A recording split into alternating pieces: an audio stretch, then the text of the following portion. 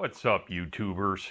So, in continuation with my weld testing, I thought today, in my free time, we would tackle the question of what's stronger, 6011 or 6013.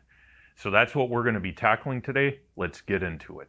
So, we're going to look at testing 6011 and 6013, and we're going to be doing break, weld break tests and really comparing the two. And this is something that, you know, since I've been in business on YouTube, I've been asked quite a lot of questions regarding, like, well, what rod should I use? And I find that in uh, foreign countries, at least, aka out of the United States, a lot of guys only have access to 6013.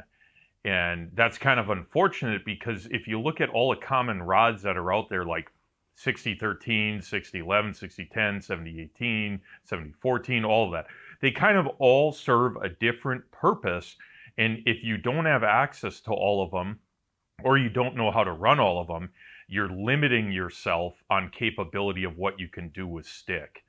So it's kind of unfortunate, but I do know in this country, 6013 and 6011 are probably the most common rods you're going to find. And that's why, I mean, we often call them farmer rods because every farmer has them on his farm. the, the irony in that is these rods may not be the best choice for welding on crap on a farm because a lot of farm stuff is made out of hardened steel or heat hardenable or alloy steel for wear resistance and these are not the rods you want to be using to weld that but whatever that's a whole nother topic. But based on you know pretty much anybody's welder you can run 6013 and 6011. You can run them on AC, you can run them on DC. They run on old buzz boxes. So across this country and likely outside of this country, you can run these rods, which is why I'm going to do a comparison between these so we can really look at the differences in strength and I can give you a little bit of an idea of why we're going to see differences in that. And I can talk about a little bit about why you would use one over the other. So without anything more said, what I'm going to do is get set up and weld all of these. So let's get into it.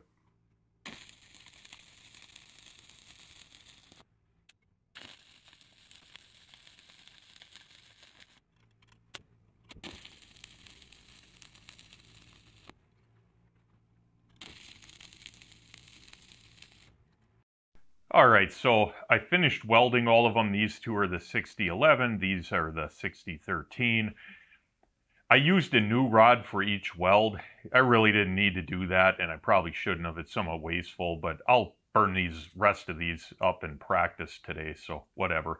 Now, this is not undercut. I don't know if you can even see that on the camera. There's uh, slag on the toes of the welds on 6011 they call those wagon tracks, but for the sake of what we're doing, I don't need to clean that off. 6013 welded better than I expected. It welded okay. Both rods have a little bit of a blown out corner, and that's simply because I did not tack weld the corners and then weld over it. That's kind of what I've been doing in the videos. If I was going to weld something that needed strength, I would go back and fill this in with weld. But again, for the sake of what we got here, we're just letting it be, I guess. So what we're going to do now is we're going to break two of them, so one from each towards the face, and then we will bend two away from the face and see if there's some differences between the two. So to start things off, we're going to use a 6013 test weld, which I welded that at a buck 20 with eighth inch rod. That's 3.2 millimeter rod for you guys overseas. I don't know why every time I clip this in, sometimes it just shuts itself off, you know. Maybe one day I'll buy a better one in Harbor Freight. All right, let's bust this to the face. We got 44. That's pretty low. All right.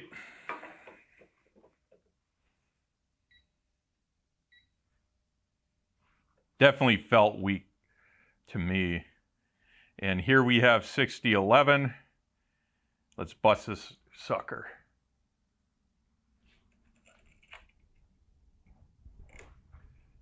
and we got 68.7. Don't mind the airplanes going overhead. All right, let's go and bust them towards the face. All right, so I got the 6013 all set up and ready here.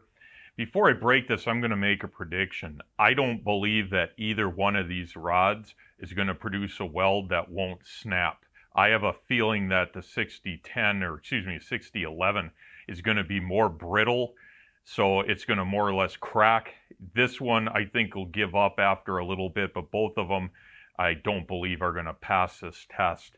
Which is, uh, if you watch my other videos where I've done 7018 and MIG wire and all of that, you're going to see that the higher tensile strength of those fillers will, in theory, do better than both this and 6011.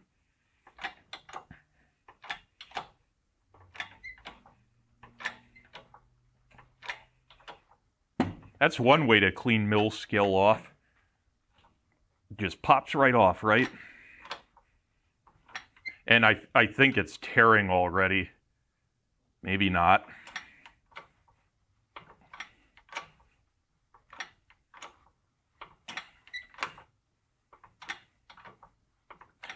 Wow, this one might not give up, shockingly.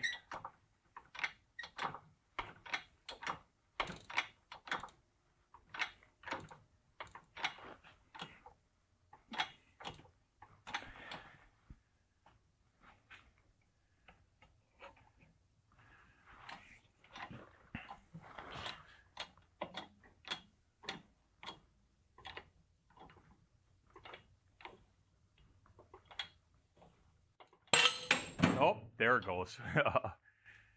so that actually held on better than the 6010 did, to be honest with you, but it pretty much snapped and dickered off somewhere down below here. So I'll have to find that in a minute.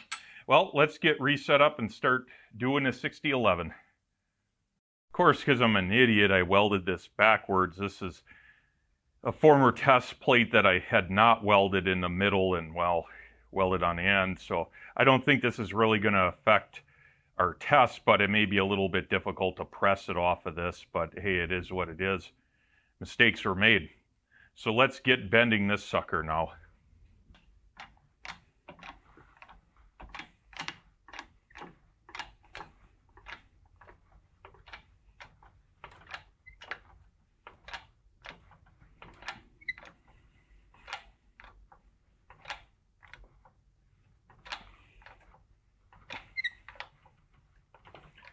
Keep in mind, a lot of the force you're seeing is just the pressure that it's digging into the plate. It drops a little bit because it's no longer digging into the plate and actually just flattening out.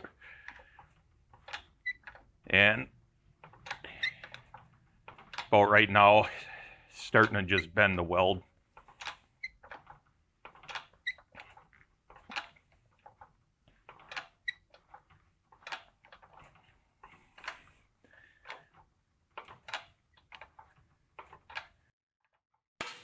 And failure. All right, well, let's go set these up on the table and talk about the results. So here I have the 6011. This is a 6013. You can easily tell because of the ripples. 6013 tends to be pretty smooth. Now, when we do a side-by-side -side comparison of these two, it's very apparent which one has more penetration. And Keep in mind, this is 3 8 plate, and I ran 120 amps on this guy, eighth inch rod, and 100 amps with the 6011. But we can clearly see far more penetration on the 6011. If you look here, the most of the original plate edge is all gone, other than maybe a little bit right here. The 6013, quite a bit of the original plate edge, very little penetration there and that's to be expected. 6013 is not really a deep penetrating rod. The interesting thing is like previous videos, the first like little bit, if you look there, tends to have a little bit of a lack of uh, root fusion there. Same thing here, and that's been the case across the board. And I said it before in other videos, I probably should up my hot start, but the machine I was running it on, my Dynasty, to weld these, either has on or off. If it had adjustable hot start, I would want to boost it up. But yeah, so anyways, looking at these, they both failed, but 6011, and by failed, I mean all of these tests fail for this, but the 6011 was significantly stronger than the 6013. And the simple reason for that is mechanical strength. When you have more penetration into the plates, it's going to pry from back here and it's going to take a lot more force to tear through that weld. So this, as I expected, failed at far higher strength. So here we have a completely different result and one that I was expecting in some ways and not in others. So here's a 6010, here's a 6013. When you look at this, we can tell that this 6013 weld stretched quite a bit. It definitely has more ductility than the 6011. But the interesting thing is, is that the 6011, the weld didn't break, but it, the plate did. If you look at that. Now, I've done a number of bend tests so far on this channel, and I've never seen one do this. And I have a couple theories as to why. And let's talk about this one first. So, again, these are just theories. But when you look in here, this weld, so the grain structure near this weld, it basically broke at the top edge of the weld, and some of the weld did actually break. This could have been an issue of undercut on the top. It's possible. I didn't really see any, but there was slag covering some of it. So it could have been undercut. But by looking at the grain structure in here, what I think happened is as I welded this, this weld metal became part of an alloy of this filler rod, or well, 6011 filler rod, and the base material. So this whole area that the weld fused and melted into there is now an alloy. 6011 is nowhere near as ductile as 6013. So this area of this plate became likely far more brittle than up here. Everything started to bend and right at this interface line, so maybe a little bit of undercut hurt it, but it was likely more brittle, and then upon putting enough stress on it, the plate broke. Now, I thought about redoing this test and running a couple more passes, and you know what, if you guys want me to, I, I guess I will, but I have a feeling that this is going to be the common theme for breaking with this particular rod, and it has to do, like I said, with the loss of ductility due to this weld alloy mixing in there. It's still interesting, and this actually broke at lower strength than 7018 rod. 7018 was able to be successful in bending this. So I think, like I said, that given stress like we did here, 6011 will break like this and 7018 won't. So is this you know, weaker than say 7018, I would have to say yes, 7018 exceeds the tensile strength of this. This rod will have a failure likely very similar to this or through the middle of the weld. So in the case of what we got going here, it's still a failure but unexpected. Now, the 6013 broke more or less as I expected. It broke down the middle of the weld. The weld had more ductility without a doubt than the 6011. It stretched quite a bit. The interesting thing is, is that you can see it started peeling away. And let me zoom in for you guys. It actually started peeling the weld off of the plate again, I think that has to do with the weld alloy mixing with the plate because I didn't see any visible undercut. I mean, this is just a little bit of slag left on there and it's been stretched. You can see that. Like there wasn't any undercut. The stress of that started peeling the weld off and had it not just br basically broke in the middle, it would have torn off there as well and likely back into the plate. So interesting result. Both of these failed as expected, just in different ways. So let's go to conclusion. So in this test, we learned a bunch of things, and or at least I did, hopefully you did as well.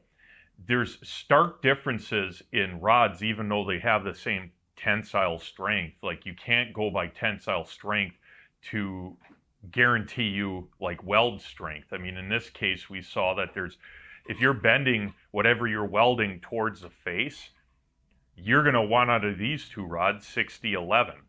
If you're going to bend away from the face, either one of them, they're going to do about the same. They're both likely going to fail, whereas your 70 series rod 7018 will likely pass. Same thing with MIG and obviously TIG. So it's something to think of. Now, the question is how relevant is this to what you're doing? Well, it really depends. Say you're welding on uh, chain pockets on the side of a trailer. If I only had these two rods to pick from, I would pick 6011. The reason is it's easier to weld uphill and out of position. It has more penetration. And say you had, like the chain pocket looks something like, uh, like this, okay?